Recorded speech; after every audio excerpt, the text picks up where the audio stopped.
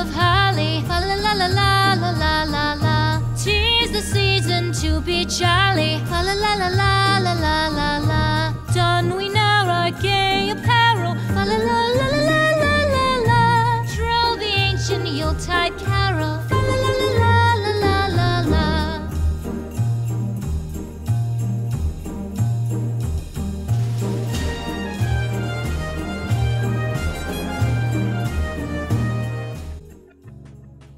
Welcome to this video on the Phalaenopsis winter care from the perspective of somebody that grows them indoors all year round and from someone that doesn't use heat mats or any heating device throughout the winter season. Many reasons why no heaters can be used. Humidity is one of them. Cost factor is another. So I'm going to talk you through what I do during the season for our Phalaenopsis orchids. I'm speaking of complex hybrids in general. The reason I am showing you this beautiful opening shot of my hedge is that a little fire that is coming out from behind the hedge and that is a barbecue going on at the neighbors.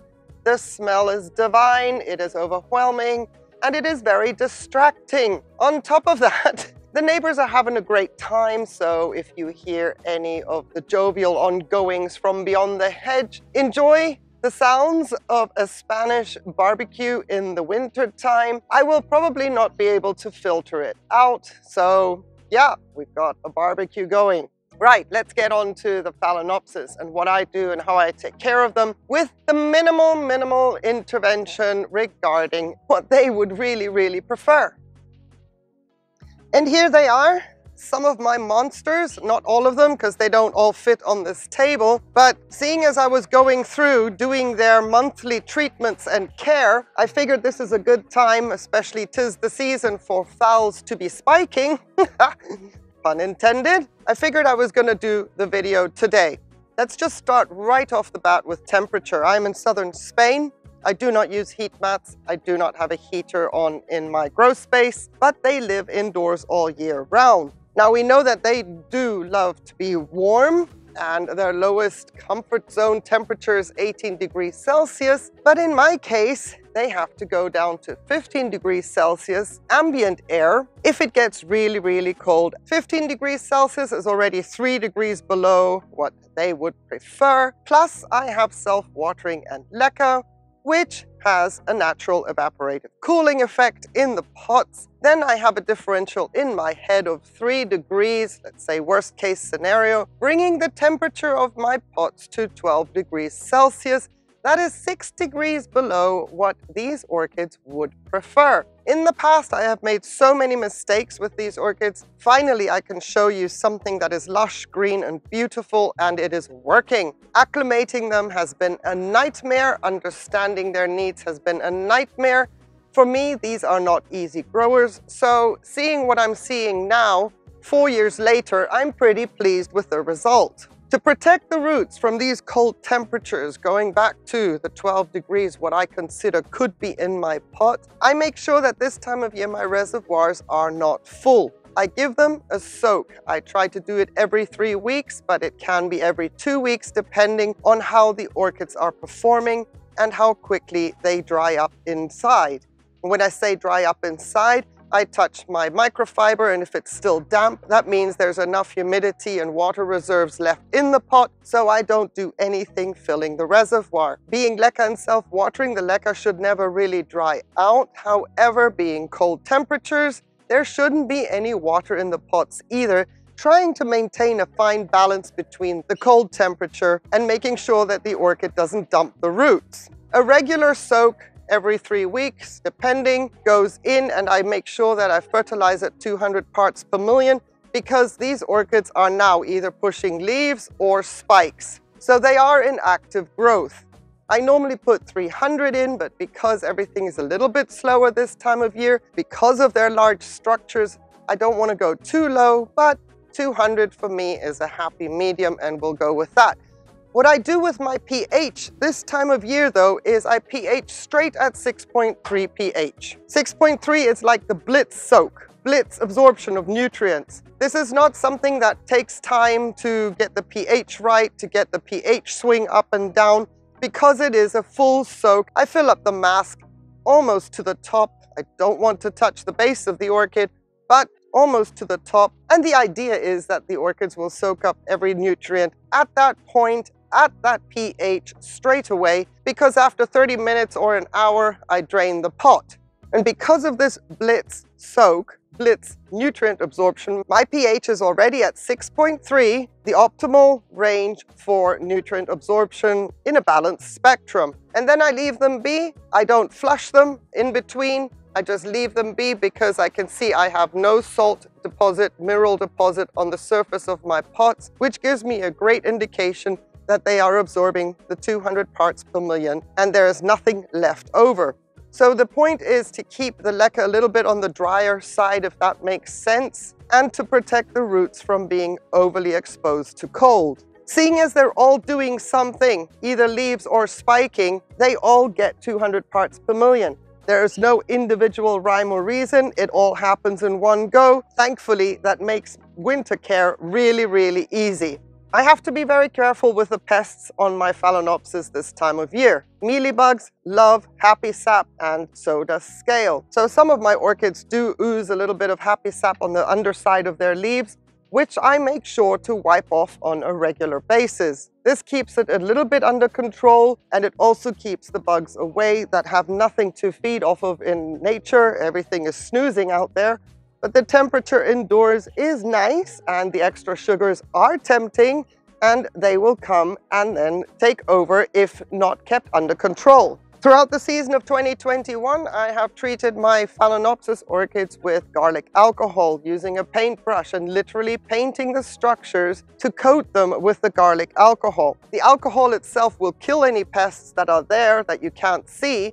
It's about making sure that the garlic acts as a repellent for any mass return of the pests. So my leaf joints get painted and especially this time of year, I have to paint also my spikes. All the phals are clean and free of pests, and that is because of the garlic residue on the structures.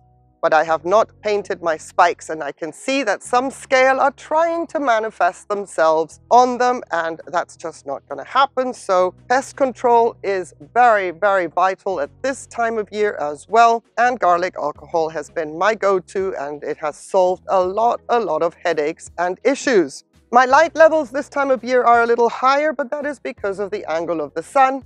Some of my phals this time of year will get direct afternoon sun, but it's only for a time period of maybe 30 minutes, 45 minutes, late afternoon. It is a very weak sun and it doesn't do the leaves any harm at all. And it is a blessing that every once in a while they do get some direct light because I get the feeling that I'm growing my phals a little bit too dark, but when it comes to winter, that grow space lights up because the sun comes all the way inside. As long as it is late afternoon sun or very, very early morning direct sun, there shouldn't be a problem. Having an orchid behind glass of this caliber, the glass will act as a magnifying glass. So mm, I would avoid putting them in direct sun right behind a window. I'd be very careful about that, even if the sun is weaker this time of year, but right behind a window, that heats up really, really quickly and could cause sunburn. So mine are all scooted back a little bit, letting them just get a little bit of the sun through the glass, but tucked away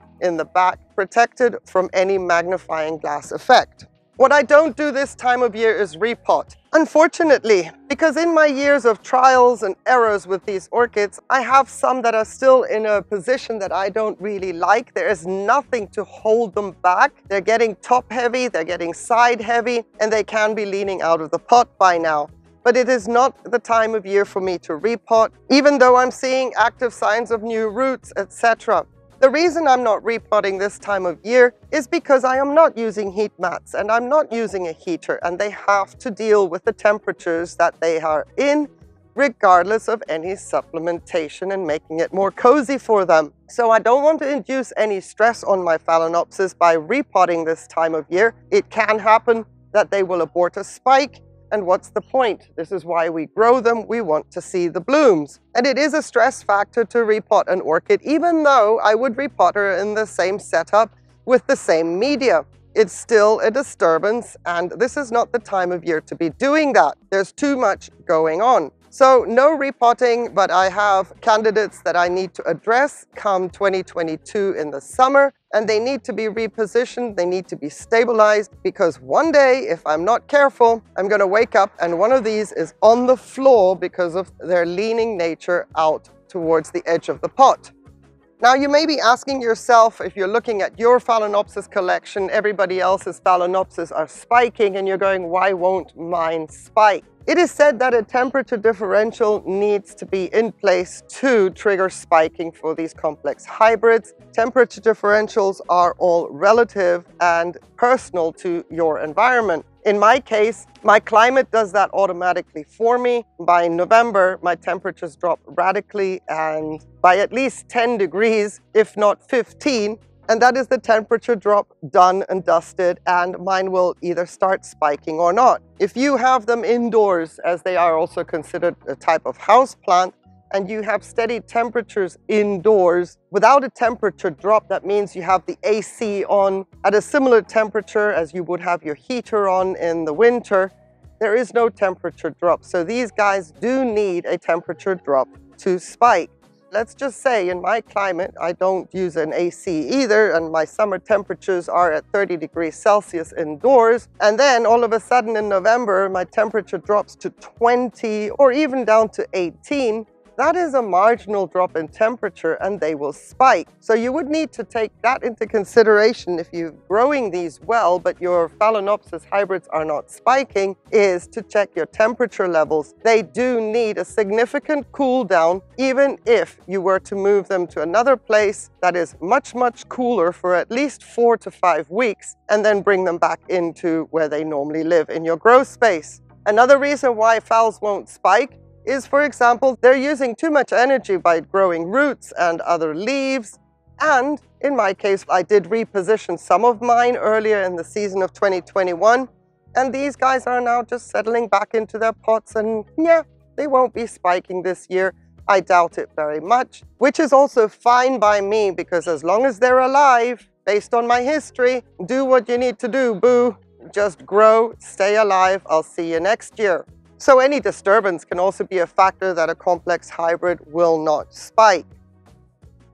And to wrap this care video up, I am featuring my Aurora 3.0 and I'm doing that because I am going to just warn you to be vigilant if you are soaking your orchids. And be vigilant about the temperature you keep your orchids at. And to hopefully now track and trace what this orchid is going to do in the coming weeks because Dum Dum here forgot this orchid outside last night with a mask full of nutrient solution at 6.3 pH and the temperatures dropped down to 12 degrees Celsius. That is the minimum temperature I consider I have in my pot when the pot is dry.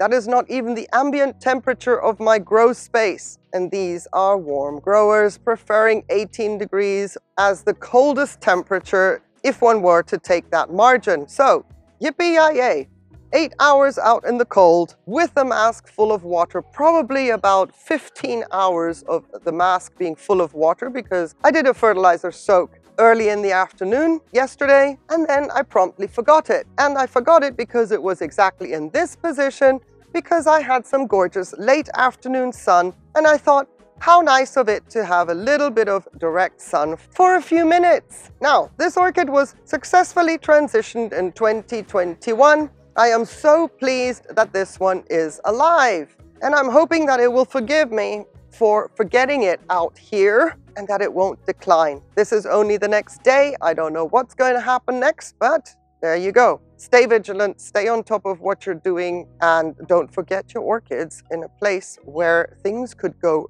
belly up very, very quickly. Fingers crossed, Aurora 3.0 is going to forgive me. We shall monitor and watch.